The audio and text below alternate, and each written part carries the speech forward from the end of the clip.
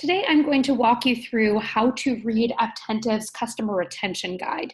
So, on the health page of your dashboard, if you scroll all the way to the bottom, you'll see the customer retention area. And we're just going to walk through um, how you should think about this and how you should read the graph. Um, so, first things first, what the customer retention chart is going to show is if a customer uh, was seen in a particular month what's the likelihood that we'll see them again in another subsequent month?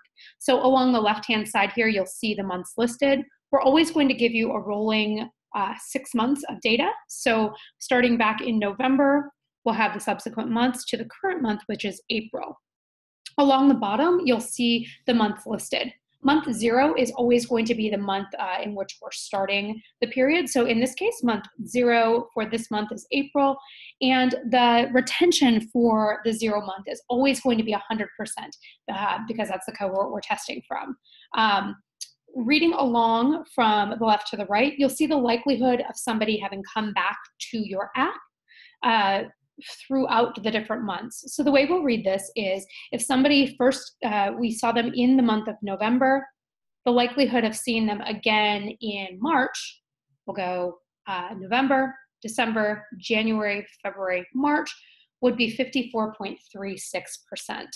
Um, similarly, if we saw the person in January, the likelihood of seeing them in February would be January, February, 88.10%. Um, a few things to note about this retention guide. First of all, these cohort months are just months in which we've seen people. So it's not the first time we've necessarily seen somebody, it just means we saw them in that particular month. Uh, so you can be part of multiple cohorts if you're coming back into the app um, in subsequent months.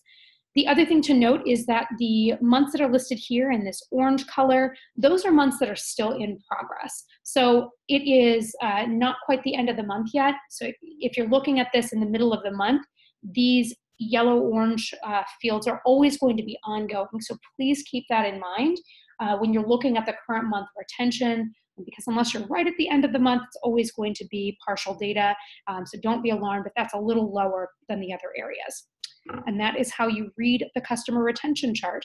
If you have any questions about this, please feel free to reach out to us by clicking the contact us at the bottom of the screen or by reaching out to your customer success manager that is assigned specifically to your account.